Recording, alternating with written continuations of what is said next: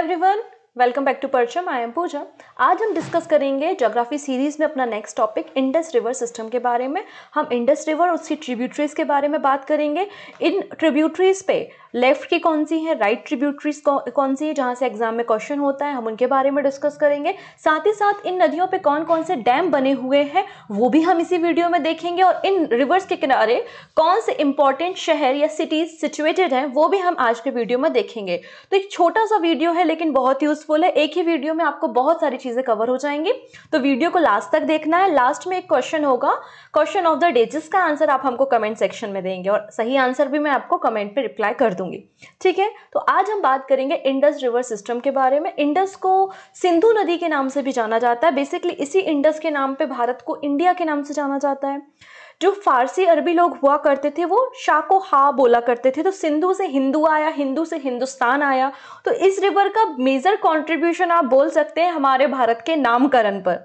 ठीक है? तो यहाँ पर हम बात करेंगे इंडस रिवर सिस्टम के बारे में। अगर मैं आपको थोड़ा सा बताऊँ आपने जितनी भी पुरानी सिविलाइजेशन देखी होंगी, चाहे वो मोहन जोधड़ो की सिविलाइजेशन हो मैसोपोटामिया की सिविलाइजेशन हो है ना तो हर एक सिविलाइजेशन आपको रिवर के किनारे ही मिलेंगी। उसके दो रीज़न होते हैं। एक तो नदियों के किनारे बहुत सारे एनिमल्स आते हैं पानी पीने के लिए तो क्योंकि फ्रेश वाटर अवेलेबल होता है। अगर हम भी चाहें तो हम भी नदियों के बाजू में आसपास ही रहते हैं। जैसे उत्तर प्रदेश, बिहार का जो रीज़न है, वो हाईली पॉपुलेटेड इसलिए है क्योंकि वहाँ पर गंगा रिवर सिस्टम पूरा गंगा बेसिन है राइट तो नदियों के किनारे फ्रेश वाटर होता है। नदियों के किनारे जो है, वो जानवर आते हैं एनिमल्स आते हैं, पानी पीने के लिए तो शिकार के लिए खाना आपको मिल जाता है।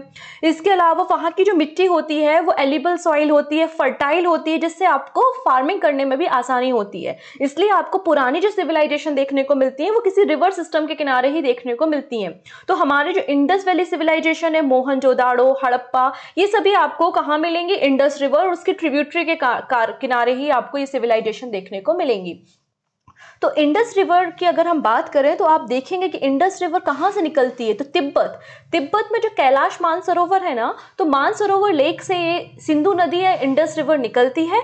भारत में एंटर करती है, जम्मू एंड लेह वाले रीजन में फ्लो होते हुए ये पाकिस्तान जाती है। पाकिस्तान में कराची के पास अरेबियन सी में जाके मिल जाती है। तो ये यात्रा होती है इंडस रिवर की। कहाँ से शुरू होगी? तिब्बत की मानसरोवर से। उसके बाद भारत में एंट्री भारत के बाद पाकिस्तान में एंट्री और पाकिस्तान के बाद ये आपको कहाँ मिलेगी? अरेबियन सी में। क्योंकि नदियों का डेस्टिनेशन ही क्या होता है कि वो समुद्र में एट द एंड मिलेंगी ही मिलेंगी। ठीक है? इंडस रिवर की जो टोटल लेंथ है ना, वो two eight eight zero kilometre है। लेकिन ये तो टोटल लेंथ है तिब्बत से शुरू होकर आपके पश्चिम पाकिस्तान तक। अगर हम केवल भारत में बात करते हैं तो भारत में इंडस रिवर की length one one one four kilometre देखने को मिलती है। तो भारत से जाने वाली सबसे बड़ी नदी आपकी इंडस रिवर हो जाएगी। लेकिन केवल भारत में फ्लो होने वाली सबसे बड़ी नदी इंडस नहीं होगी, तब आपको याद रखना होगा कि गंगा रिवर जो है, वो भारत में फ्लो होने वाली सबसे बड़ी नदी है। Two five two five kilometre इसकी आपको लेंथ देखने को मिलेगी। हालाँकि इंडस की लेंथ बड़ी है, लेकिन भारत में इसकी लेंथ केवल one one one four kilometre है। क्लियर अब नदियों के बारे में जानने से पहले मैं दो छोटी सी बातें आपको बताना चाहती हूँ। हमारे पास जो रिवर सिस्टम है या ड्रेनेज सिस्टम है, दो प्रकार की ड्रेनेज सिस्टम आपको भारत में देखने को मिलेंगे। एक वो नदियाँ जो हिमालय के रीजन से निकलती हैं, हिमालयन रिवर सिस्टम, और दूसरा होता है पेनिनसुलर रिवर सिस्टम। तो हिमालय से जो निकलती हैं नदियाँ ना, वो जनरली किसी ग्लेशियर से निकलती हैं तो ग्लेशियर के कारण उनमें बारह महीने पानी होता है। और मानसून का इफ़ेक्ट तो है ही। बारिश के कारण तो पानी होगा ही तो हिमालयन रिवर सिस्टम की जो भी नदियाँ होती हैं, बारह मासी होती हैं। मतलब पूरे के पूरे बारह महीने इनमें पानी होता है, सदा नीरा होती है, हमेशा इनमें पानी अवेलेबल होता है। पेनिनसुला रिवर सिस्टम की बात करते हैं। पेनिनसुला मतलब ये वाला रीजन जहाँ पर आपको गोदावरी, कृष्णा, कावेरी ये नदियाँ देखने को मिलेंगी। ये पेनिनसुला रिवर सिस्टम के अंतर्गत आता है। अब पेनिनसुला रिवर सिस्टम की नदियाँ पूरे तरीके से डिपेंड होती हैं मानसून पे। अगर बारिश ज़्यादा होगी तो इन नदियों में पानी रहेगा। बारिश कम होगी तो कई बार ये नदियाँ सूख भी जाती हैं। तो पेनिनसुला रिवर सिस्टम में पानी जो है वो हमेशा अवेलेबल नहीं रहता। ये मेजर डिफरेंस आपको हिमालयन रिवर और पेनिनसुला रिवर में देखने को मिलेगा। क्लियर है? तो हिमालयन रिवर में आपको इंडस, गंगा और ब्रह्मपुत्र के ड्रेनेज सिस्टम को पढ़ना होता है, जबकि पेनिनसुलर रिवर को भी हमने रिवर सिस्टम को दो पार्ट्स में डिवाइड किया है। एक वो नदियाँ जो अरेबियन सी में अपना पानी छोड़ती हैं और एक वो जो बे ऑफ़ बंगाल में पानी छोड़ती हैं। अरेबियन सी में आपको बेसिकली तीन नदियाँ याद रखनी होती हैं, एक तो नर्मदा, तापी और माही। तो नर्मदा, तापी और माही ये नदियाँ अरेबियन सी में जाएँगी। इसके अलावा गोदावरी, कृष्णा, महानदी, भीमा, तुंगभद्रा, ये सभी नदियाँ जो हैं वो आपको कहाँ मिलेंगी? बे ऑफ़ बंगाल की तरफ़ जाते हुए दिखाई देंगी। अब हर चीज़ के कुछ ना कुछ एक्सेप्शन तो होते ही हैं। तो वैसे ही पेनेंसुलर रिवर सिस्टम में एक रिवर है, जिसका नाम है कावेरी। और कावेरी रिवर यहाँ पर एक्सेप्शन है। एक्सेप्शन कैसे? क्योंकि ये सदा नीरा है। इसमें बारह महीने पानी होता है, क्योंकि इसको साउथ वेस्ट मानसून से भी पानी मिल जाता है और नॉर्थ ईस्ट मानसून से भी पानी मिल जाता है। ठीक है? तो दोनों मानसून से इसको पानी मिल जाता है इसलिए कावेरी नदी पे हमेशा पानी रहता है। तो ये कुछ बातें आपको रिवर सिस्टम के बारे में पता होना चाहिए। तो हम बात कर रहे हैं हिमालयन रिवर सिस्टम के बारे में जिसमें हम अपनी पहली नदी इंडस रिवर के बारे में आज के वीडियो में देखेंगे। जब नेक्स्ट वीडियो आएगा तो हम गंगा रिवर सिस्टम के बारे में बात कर लेंगे। सो so, स्टार्ट करेंगे हम यहाँ पे इंडस रिवर सिस्टम के बारे में लेकिन उसके पहले मैं आपको छोटी सी इन्फॉर्मेशन और दे देती हूँ। कि परचम की टीम ने आप लोगों के लिए एसएससी कोर्स लॉन्च किया है एसएससी जीए कोर्स जिसमें polity geography history economy science और स्टैटिक जीके विद पीवाईक्यू और एमसीक्यू के साथ कवर कराया गया है। इनकी पीडीएफ भी अवेलेबल है तो आप परचम के एप्लीकेशन में जाके इस कोर्स में इनरोल कर सकते हैं। ठीक है? साथ ही साथ अगर आप चाहें तो इंडिविजुअल कोर्सेज को भी परचेस कर सकते हैं। फॉर एग्ज़ाम्पल अगर आपको ज्योग्राफी अकेले का कोर्स परचेस करना है तो वो भी आपको परचम के एप्लीकेशन पे अवेलेबल हो जाएगा। Year book of 2021 current affairs भी आ चुकी है, ये भी परचम के एप्लीकेशन पे है, ठीक है? सो स्टार्ट करते हैं हम अपनी इंडस रिवर के साथ। इंडस रिवर जो है हालाँकि सबसे बड़ा रिवर बेसिन अगर हम बात करते हैं तो नाइल रिवर सबसे बड़ी है वॉल्यूम के हिसाब से अमेजोन रिवर सबसे बड़ी है, लेकिन इंडस रिवर का भी नाम बड़ी नदियों में आता है, इसका भी रिवर बेसिन बहुत बड़ा है। ये नदी जो है, सिंधु नदी, ये चाइना के तिब्बत रीजन से निकलती हुई इंडिया जाती है और इंडिया के बाद पाकिस्तान जाके अरेबियन सी में पानी को छोड़ती है। इंडस रिवर को कुछ और नामों से भी जाना जाता है, इसको सिंगी खंबाई के नाम से जानते हैं और, या फिर इसको लाइन्स माउथ के नाम से भी इंडस रिवर को जाना जाता है। ठीक है तो संस्कृत में इसे सिंधु कहते हैं ग्रीक लैंग्वेज में इसको सिंतोष कहते हैं और लैटिन में इसको सिंधुस के नाम से जाना जाता है। अब इंडस रिवर के बारे में देखते हैं तो इंडस रिवर कहाँ से निकलती है? तो इंडस रिवर जो आपका कैलाश मानसरोवर का तिब्बत का रीजन है, वहाँ पे बोखरजू के पास से लगभग 4000 एल्टीट्यूड से ये नदी निकलती है, कैलाश माउंटे माउंटेन रेंज से नियर मानसरोवर लेक वहाँ से ये निकलती हुई भारत में एंटर करती है। भारत में एंटर करने के बाद ये आपको जो आपकी ट्रांस हिमालय की रेंजेस हैं काराकोरम और लद्दाख रेंजेस उनके पास से निकलती हुई आगे बढ़ती मतलब मोस्टली ये लद्दाख रेंज के पास से उसके पैरल निकलती है। ठीक है? फिर यहीं पे जास्कर रिवर जो है वो इंडस से आके मिल जाती है और आपको इसी रिवर के किनारे लेह भी देखने को मिलेगा। तो इंडस के किनारे आपको लेह भी देखने को मिलेगा। यहाँ से क्या निकल जुड़ गई जास्कर रिवर भी इससे जुड़ गई फिर यहाँ पर पाकिस्तान और अफ़गानिस्तान से भी कुछ नदियाँ आती हैं और इंडस में मिलती हैं।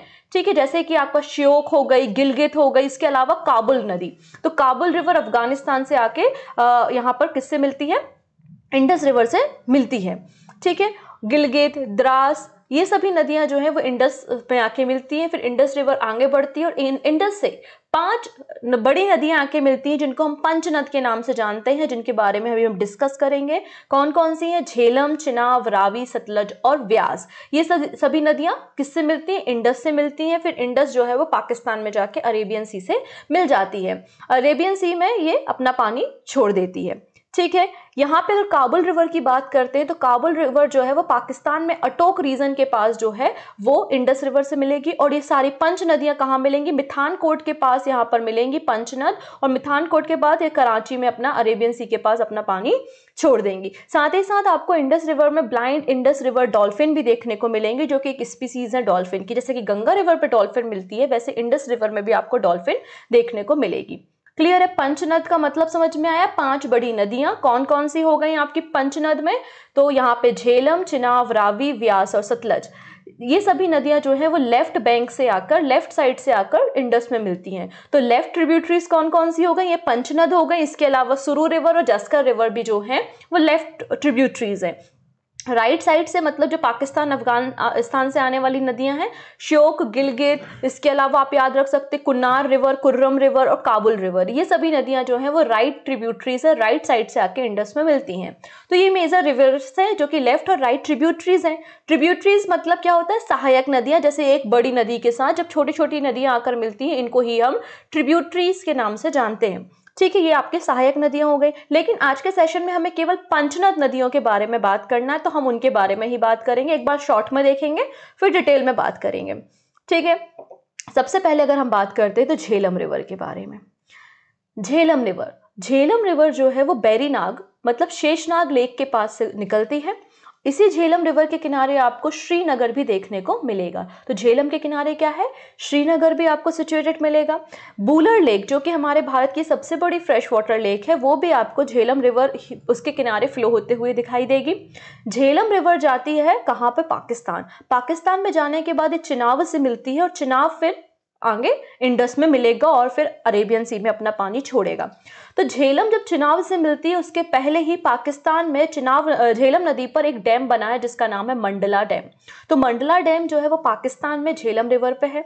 इसके अलावा दो और मेजर प्रोजेक्ट झेलम रिवर पे काम कर रहा है, जिनका नाम है उरी और तुलबुल प्रोजेक्ट। उरी और तुलबुल प्रोजेक्ट भी झेलम रिवर पे काम कर रहे हैं। ये सारे जो प्रोजेक्ट होते हैं, ये हाइड्रो इलेक्ट्रिक प्रोजेक्ट होते हैं। मतलब आपने डैम बनाया, पानी को इकट्ठा किया, उसको टरबाइन पे गिराया। टरबाइन ने घूमना शुरू किया इलेक्ट्रिसिटी प्रोड्यूस हुई। तो इस तरीके से आपने वाटर से क्या किया? इलेक्ट्रिसिटी को प्रोड्यूस किया। तो ये सभी प्रोजेक्ट जनरली हाइड्रो इलेक्ट्रिक होते हैं और मल्टीपर्पज़ होते हैं। इरीगेशन में भी इसका यूज़ किया जाता है। पीने के लिए पानी भी इनसे मिलता है। तो आपने क्या देखा? झेलम जो है, जितने भी देखो, एक चीज़ बताती हूँ, जितने भी नाग नागिन वाली चीज़ें हैं ना, ये जम्मू कश्मीर में ही मिलती हैं। और जितने भी ताल तलैया वाली चीज़ें हैं, आपको कहाँ मिलेंगी? उत्तराखंड में मिलेंगी। जैसे नैनीताल वगैरह। और यहाँ पर बात हो रही है किसकी? शेषनाग लेक। तो शेषनाग लेक झेलम निकलती है वहाँ से, बूलर लेक और श्रीनगर इसके किनारे हैं और फिर पाकिस्तान जाके चिनाब से मिलती है और फिर अरेबियन सी तक पहुँच जाती है। उरी और तुलबुल प्रोजेक्ट आपको झेलम में मिलेंगे। ठीक है? चलो, अगली नदी। झेलम के बाद अगली नदी है चिनाब। आप लोगों ने रिसेंटली न्यूज़ में देखा होगा कि चिनाब पे दुनिया का सबसे बड़ा रेलवे ब्रिज को भी कंस्ट्रक्ट किया गया है। चिनाब नदी बेसिकली दो नदियों से मिलके बनी है। एक का नाम है चंद्र, दूसरे का नाम है भागा। तो चंद्र, भागा से मिलके आपको चिनाब नदी मिलती है। एक तांडी नाम की जगह है, वहाँ पे चंद्र भागा मिलके चिनाब कहलाते हैं। ये बारह लाचा पास के पास से निकलती है चिनाब रिवर ठीक है, ये भी कहाँ जाएगी? पाकिस्तान जाएगी। सतलज से मिलेगी। सतलज आपको कहाँ से मिलेगा? इंडस से मिलेगा और फिर इंडस का पानी आपको अरेबियन सी में देखने को मिलेगा। ठीक है अब चिला चिनाब नदी जो है उस पर भी आपको तीन हाइड्रो प्रोजेक्ट देखने को मिलेंगे। कौन कौन से? सलाल, बगलीहार बगलीहार और दुलहस्ती। ये सभी लिखा हुआ है आगे स्लाइड्स में। तो सलाल, बगलीहार और दुलहस्ती ये तीनों प्रोजेक्ट आपको चिनाब रिवर पर देखने को मिलेंगे। चिनाब के बाद अगली नदी अगर हम देखते हैं तो आएगी आपकी रावी रिवर रावी नदी। तो रावी नदी आपको रोहतांग पास के पास से निकलती है और ये भी कहाँ जाएगी? ये भी आपकी जाएगी पाकिस्तान में इंडस से मिलने के बाद अपना पानी मतलब पहले वो चिनाब से मिलेगी चिनाब सतलज से मिलेगा और सतलज इंडस से मिलेगा और इंडस का पानी जो है वो अरेबियन सी में पहुँच जाएगा। रावी नदी पर भी कुछ प्रोजेक्ट काम कर रहे हैं, जैसे कि थीन प्रोजेक्ट, थीन विलेज में। इसके अलावा रणजीत सागर प्रोजेक्ट जो है, चमेरा प्रोजेक्ट जो है, वो सभी आपको रावी नदी के तट पर ही देखने को मिलेंगे। क्लियर रावी के बाद अगली जो नदी आती है, वो है आपकी व्यास रिवर तो व्यास रिवर के बारे में खास बात ये है कि जो हमारी पंचनद है ना, जो पाँच नदियाँ हैं, केवल एक नदी है इस पंचनद की व्यास रिवर जो पाकिस्तान नहीं जाती. ये क्वेश्चन कई बार एग्ज़ाम में पूछा गया है कि पंचनद में से कौन सी नदी है जो पाकिस्तान नहीं जाती है? तो आंसर हो जाता है व्यास. क्योंकि व्यास रिवर भारत से निकलती है और भारत के अंदर ही सतलज में मिल जाती है.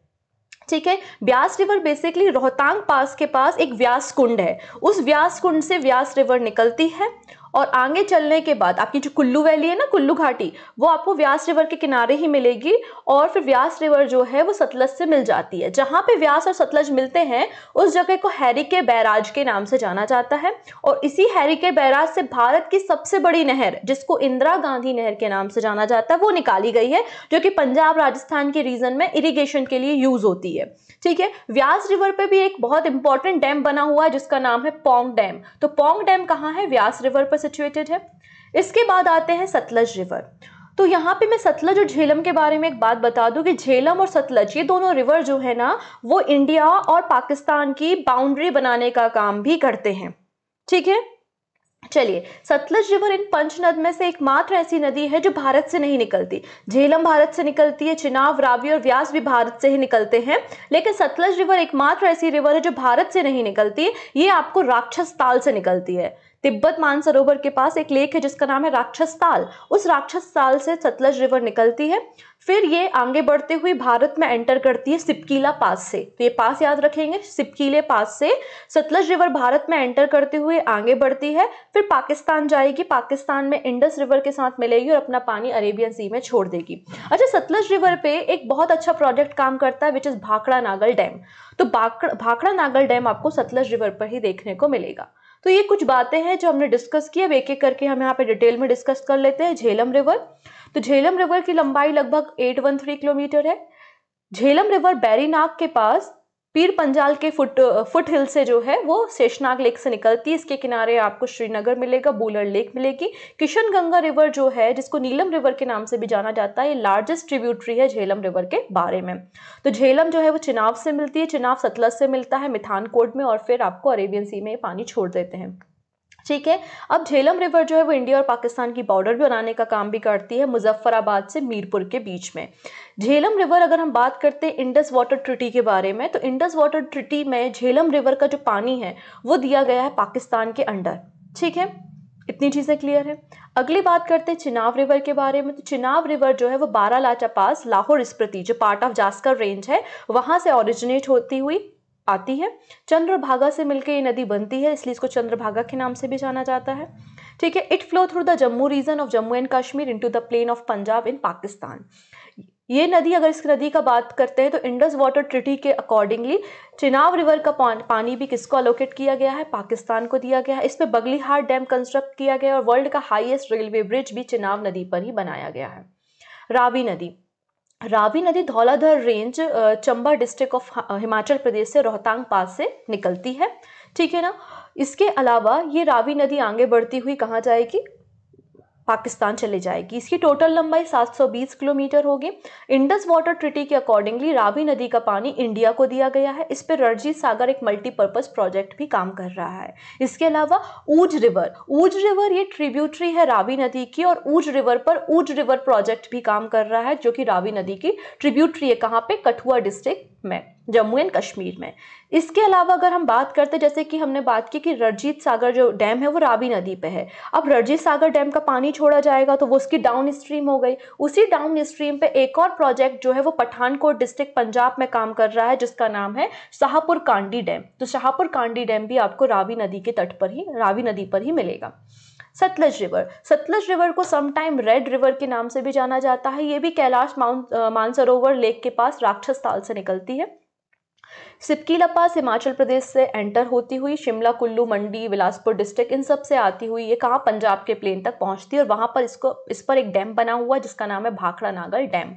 अगर हम इंडस वाटर ट्रिटी के बारे में बात करते हैं तो water of the Sutlej are allocated the India under the Indus water treaty between India and Pakistan mainly use for power generation and irrigation purpose इसके ऊपर कोल डैम और नाथपा झाकरी डैम भी काम कर रहे हैं। तो कोल डैम, नाथपा झाकरी डैम और भाखड़ा नाकल डैम, ये तीनों के तीनों डैम सतलज रिवर पर ही गए। व्यास रिवर व्यास रिवर पंचनद में से एकमात्र ऐसी नदी है जो भारत से ही निकलती है। कहाँ से? रोहतांग पास के पास व्यास कुंड से हिमाचल प्रदेश में। सतलज से मिलती है, जहाँ पे मिलती है उसे हरी के बैराज के नाम से जाना जाता है। इसकी टोटल लेंथ अगर हम बात करते हैं 460 किलोमीटर है। हिमाचल प्रदेश में 256 किलोमीटर है। कुल्लू वैली हो गया, मनाली हो गया, ये सभी आपको व्यास रिवर के किनारे देखने को मिलेंगे। अब बात हो रही है इंडस वाटर ट्रिटी के बारे में तो इंडस रिवर का पानी देखिए, पाकिस्तान में भी जाता है, भारत के बाद। तो अगर भारत ही पूरी नदियों पर डैम बना लेगा तो पानी की सप्लाई कम हो जाएगी पाकिस्तान में। तो यहाँ पे इसलिए एक ट्रिटी साइन की गई है, इंडस वाटर ट्रिटी। कब हुई थी साइन? तो 19 सितंबर 1960 को दी हुई थी।